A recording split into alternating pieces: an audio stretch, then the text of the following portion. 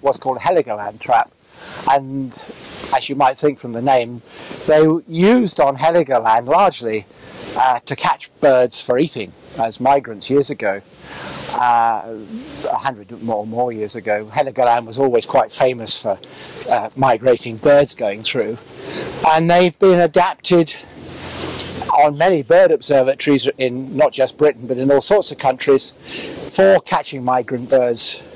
As one at a place called Rossitten on the on the Baltic, where they are absolutely gigantic, where you get uh, whole birds of prey going into them. But these are a fine mesh soft netting, so they the birds, even if they fly into them, don't hurt and they funnel down. they they narrow down to a funnel, and as you go on down through here, I've actually put baffles up so that they don't easily break back.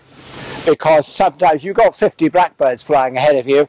By the time six of them have gone down to the front end, they're already coming back. And so they then fly on through here.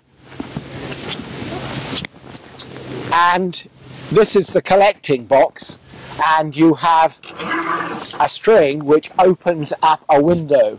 Now it's got perspex because that's much safer for birds than glass and they think that's the way out and so the birds will fly in there. You lower that down and then you go out the side of the trap and in these collecting boxes we have a rubber membrane that you can stick your hand through and you catch the bird that's in there and bring them out and you have bags and each bird goes into a separate bag and uh, the most I've ever caught here in a day is 530 birds so occasionally the whole place is just hooching with them when there are easterly winds particularly in autumn and they've come across the North Sea and especially if they then fly into rain. So you've got easterly winds and a bit of rain. That's what brings migrant birds down on the east coast. So uh, they've been they've been very effective. But I probably still catch more birds in the mist nets than I do in the traps. So I, I can't do without the mist nets.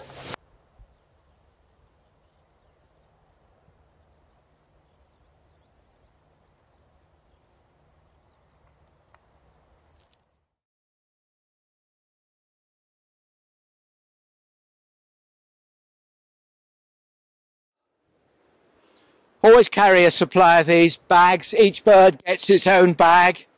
Uh, they're safe in the bags and on a cold day they're actually warm in the bags. So these are standard bird bags, which one bird per bag. Okay. I got two birds to ring. I, to be honest, I normally ring them in the hut. We brought them back in the bags and you need to be a little bit careful when you get a bird out of the bag that it doesn't escape past your hand. So you just ease your hand in and then you catch the bird in what is known as the ringer's grip. And this is basically between your first two fingers, the head is in between, you've got them shut, it can't pull its head out, but there's a nice wide gap, so no pressure on the bird. Now this one, is interesting because when I got it out of the net, I thought this is a willow warbler. It actually is not. It's a chiffchaff, and I'll show you why in a minute with a close-up. So each of these rings has got the address of the British Museum on, and it, I ring on the left leg. Nearly all other ringers ring on the right leg. I don't know why. I've done it all my life, and I'm not changing now. So that's now ringed. They're soft aluminium rings. They weigh uh, they're very light in terms of the weight of the bird, so they don't affect the bird. And uh, normally one will take a wing length. Now, if this is a chiffchaff, it will have a shorter wing than a willow warbler. It's got a wing of 60, which means it might be a male. I think this one, maybe, we're not going to be able to tell well on, on the wing length. And I always weigh it. There are other measurements you can do but I only do it if I'm doing a study because it means handling the bird longer. So the bird goes into a little bag and these are very expensive Swiss spring balances and they're very accurate. and that bird weighs seven and a half. So that's seven and a half grams, which is about what I'd expect. Now, the way in which you tell a willow warbler from a chiffchaff, and this has got quite a bright eye stripe, but on the other hand, it's got thin, dark legs. And thin, dark legs immediately says to you, chiffchaff.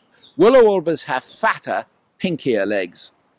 But if you look at the wings, if you hold the wing out, there is this very short first primary, which is on one of the other wing bones. And then you've got one, two, three, four, five, six. One, two, three, four, five, six. And the sixth one on this has got a scoop out of it.